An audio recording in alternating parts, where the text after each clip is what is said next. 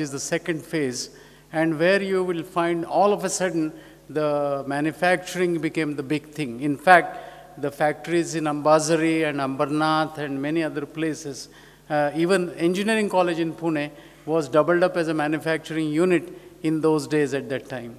So there was a certain amount of base of manufacturing that got created during the Second World War.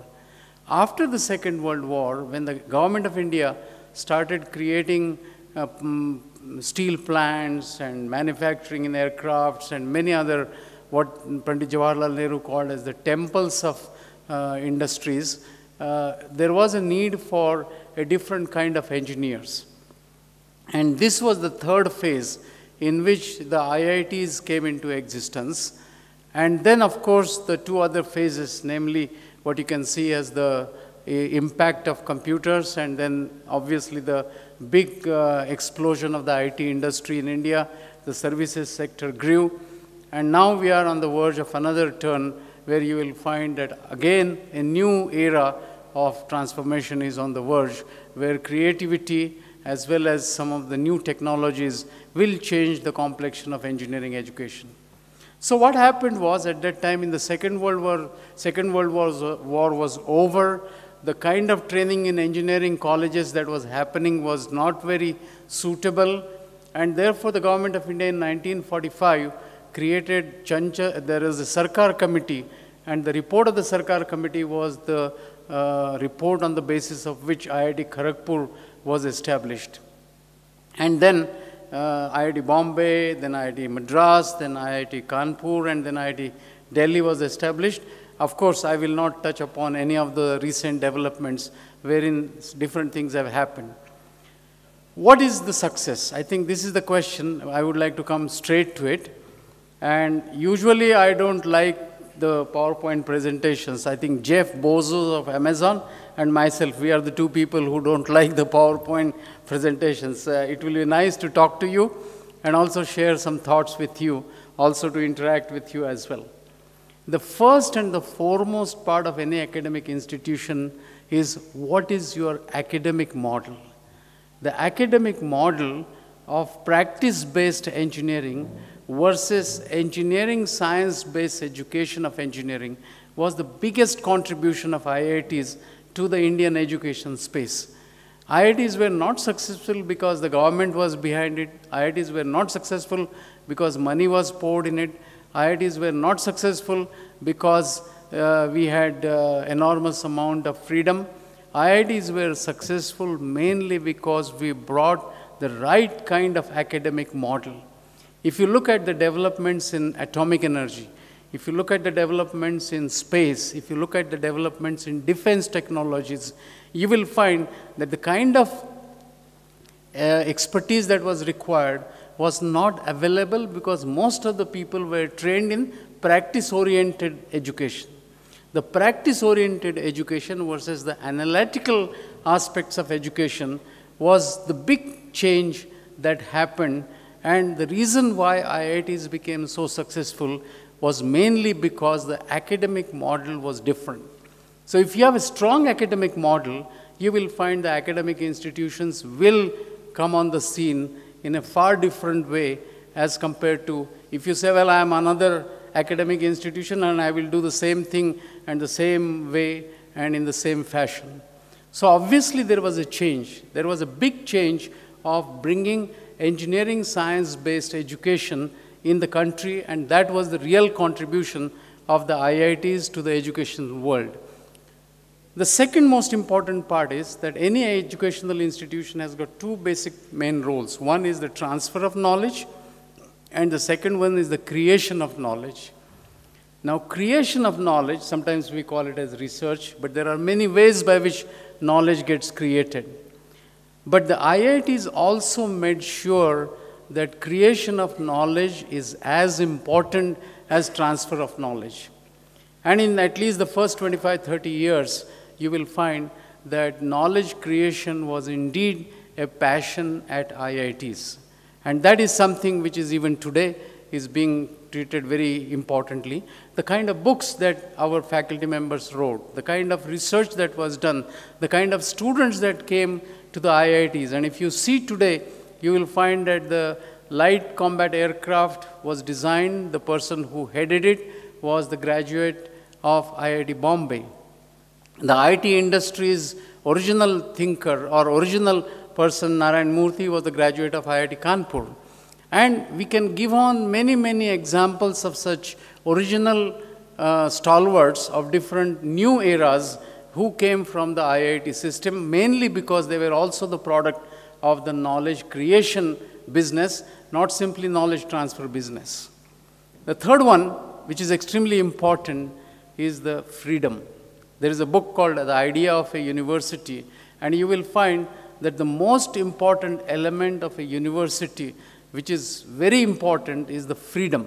The freedom to think, the freedom to act is the most important freedom. If you try to restrain the academic community, you will find that you will be creating mediocres or even sometimes sub-mediocres. And therefore, this is a very risky business in some sense that you have to make sure that freedom is given, but it is not also anarchy that may turn from freedom to anarchy, and therefore you have to control in some sense, or you have to at least modulate in some fashion. And therefore, but it's very important that you have to have the freedom to think and the freedom to act. These two freedoms are very, very important in an academic university, and those universities around the world have flourished mainly because of this freedom.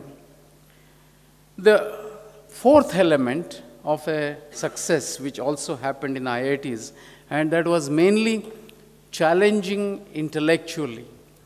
In fact, somebody says, Who is a good student or who is a good postgraduate student? I say that if you cannot make the professor insecure intellectually, you are not a good student. So, if you are able to have a dialogue, if you are able to discuss, and if you are able to even not agree, I think the culture of yes, sir, and you know, saying the professor as a boss in chemistry department, they say, who is your boss? And I said, what do you mean by boss? I don't have a boss in my life, actually, sort of. You know. So, to make sure that you intellectually challenge each other, you try to make sure that you uh, challenge the assumptions, you try to question, and this ability to question the fundamentals is probably the most important aspect of a university, which was also nurtured very, very properly at the IITs. The last thing, uh, the last three points that I want to mention is that there was a spirit of innovation in education. For instance, look at the curriculum. In the good old days, if you are a civil engineer, you will find that you have to study hydraulics. And so the flow through weir, flow through channels, flow through extremely empirical data was uh, to be mugged up. And there is a laboratory in Pune called CWPRS, uh, which has done enormously good work, but in a very, uh, what you can call, empirical fashion. On the other hand, if you look at the fluid mechanics, if you look at Navier-Stokes equations, and so the whole approach of reforms in curriculum became extremely important in terms of innovative ways of looking at your curriculum. Also, the pedagogy has to change. I remember that there is a concept of what is called as a self-study course. I, want, I wanted to study at that time graph theory and graph theory was not available as a course. So I went to the teacher and said, I want to study graph theory and he says, no problem. We will have a self-study course for you. And I said, what do you mean by self-study course? He said, you write the syllabus, we will submit, get it approved, and once the syllabus is approved, I will be your notional instructor, but you have to learn and tell me what you have learned. Now, this is something which is unheard of in a university culture, you know. In fact, to go, you have, what is called that? Board of Studies, you know, very tyrannical institution. And then there are many, many other committees and other things. Here it, I proposed in the morning. By afternoon, the professor called me and said that your course is approved. Now next semester you register for the self-study course.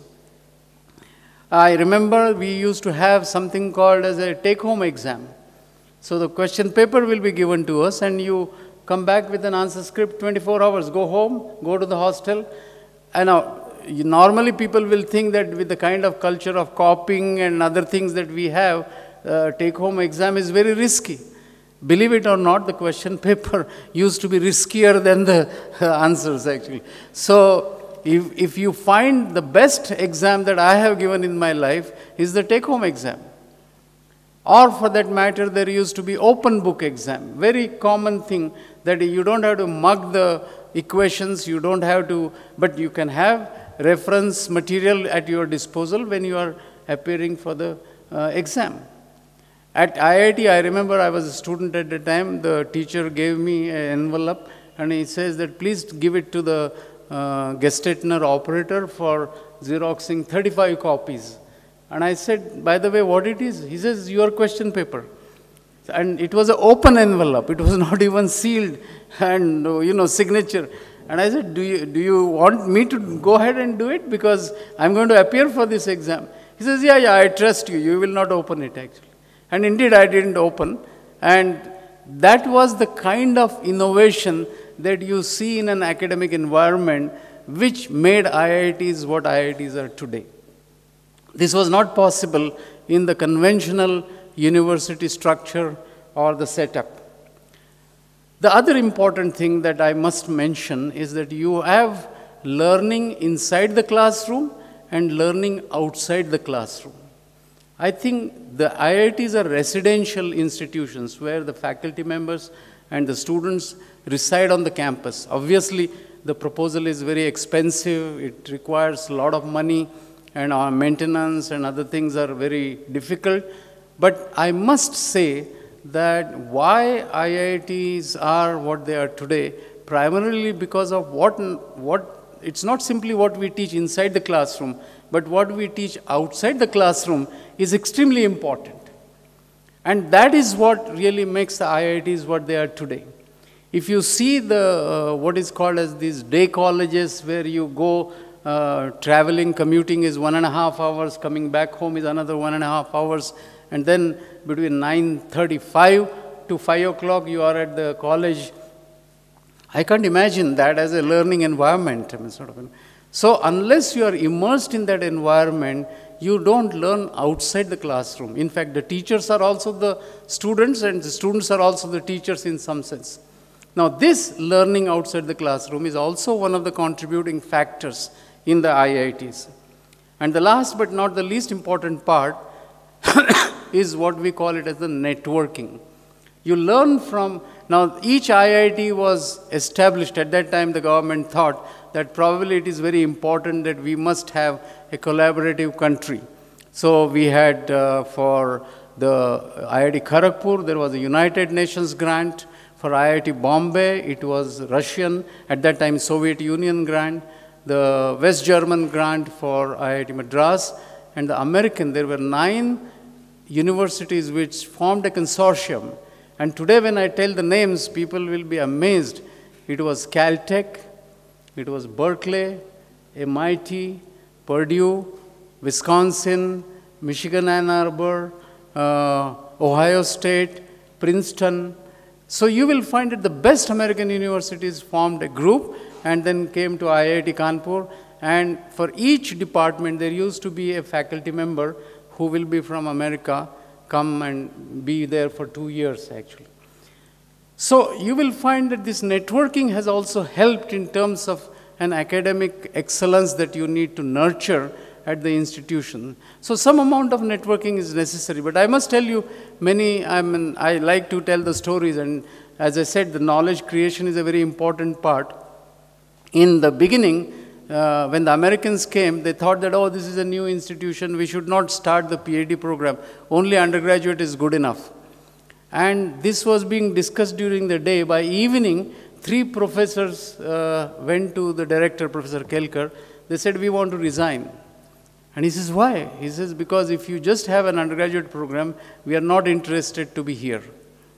And these were the people from physics and mathematics who were from uh, very well established universities like Delhi University or for that matter Aligarh Muslim University. And the Americans were then persuaded and convinced that look, this is not simply an undergraduate college, this is a wholesome technical institution which have to have the doctoral program from day one. So all the IITs you will find that the research part is an integral part in some sense. Whatever the research and development part happens is definitely an integral part.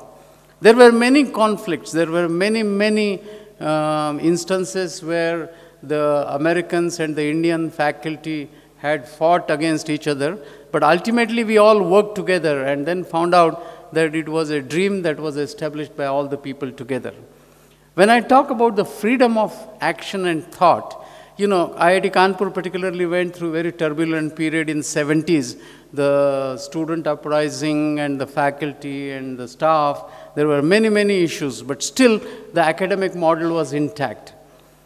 1970 September, um, our Prime Minister, the then Prime Minister Indira Gandhi, was worried because of the influx of refugees which came from the then East Pakistan. And she went to UK, she went to West Germany, and she went to USA to tell those governments that unless you do something about these refugees, India can't handle that many refugees. The protocol requires that if the Prime Minister of our country is visiting that uh, uh, country, then the ambassador based in Delhi has to see her off. Kenneth Keating was the American ambassador, and he did not see her off at the airport, even though he was in Delhi, and she left for USA. Then he issued a statement, a press statement, saying that my orderly did not wake me up, and hence I couldn't see your prime minister off uh, in September. Then the December 1971, we had the war, the Bangladesh war, Bangladesh got formed. Uh, the war was a big success for us. The seventh fleet was in uh, Bay of Bengal. As you know, it was a very, very tense moment. 72 March, we had a convocation at IIT Kanpur. And lo and behold, who is the chief guest of the convocation? That same ambassador, Kenneth Keating, who did not see the prime minister off. Obviously, the students were upset.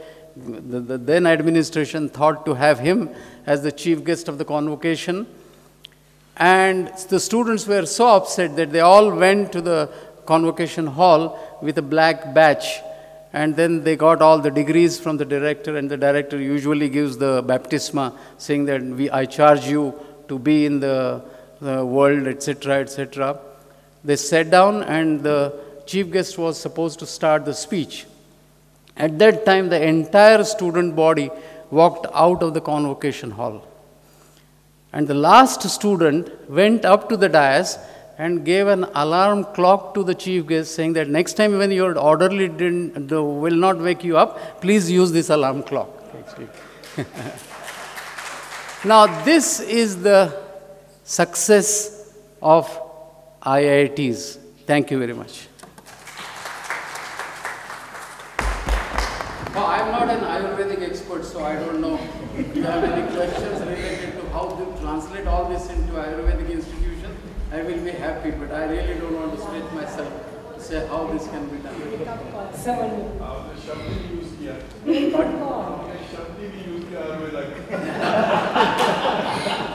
because I don't think I am the right person for it, but I can tell you some of the good stories. No, you have to create an institution which has to have the yes.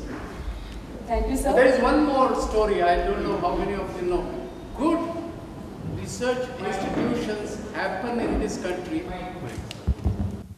Good research institutions happen in this country without the government. Bharat Itihas Sanshothan Mandal, which is there in Pune, is an excellent research institution, used to be excellent. Bhandarkar Oriental Research Institute used to be an excellent. Deccan College, there are many research institutions in this city. I still remember that uh, uh, Itihaskar Rajwade, Rajwade was a very famous researcher in history. And the Sayajirao Gaikwad used to give him the grants for doing research in history. One time he went to the Maharaja of uh, Baroda and he says, the Maharaja was saying कि अब आजकल गड़की है पैसा कम है you know so it is a bit difficult for supporting your research etc etc this fellow said keep one concubine less that money is good enough for my research and believe it or not he got the money that he wanted so what i mean to say is that excellence without government will probably be the mantra for future. That is the only way excellence can be reached. Thank you so much, sir, for giving us this mantra as well as sharing your experiences so enthusiastically. Now, definitely we know why IIT stand out. And um, basically, as a premier institute of India, uh, for the felicitation, I request Dr. Manoj Nesari, advisor to uh, Ministry of Ayush and our member of uh, Scientific Advisory Committee of our uh, Center of Excellence.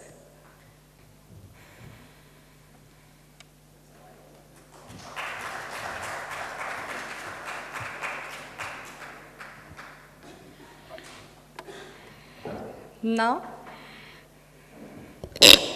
next speaker for the session is Professor Darshan Shankar. Darshan Shankar is Padma Shri awardee.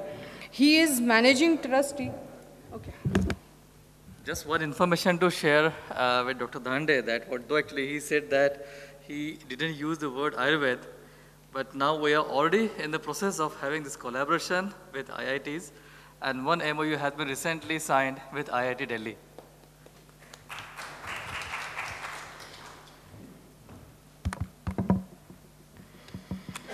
Professor Darshan Shankar is managing trustee of FRLHT, founder of Transdisciplinary University Bangalore. He has won several national and international awards like Commonwealth Award, Nor, uh, Norman Borlaug Award for his contributions to conservation of wild populations of medicinal plants and many more. He is working in this area for more than three decades. He has uh, worked with Planning Commission of Government uh, of India as advisor. He has worked with National Biodiversity Authority, National Wildlife Board, and many more to list down. I request him to brief us uh, on revitalization of Ayush institution. Good morning, everybody.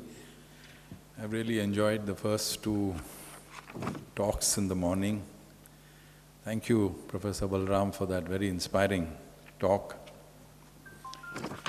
So, I am now going to actually focus on uh, the Ayurvedic domain.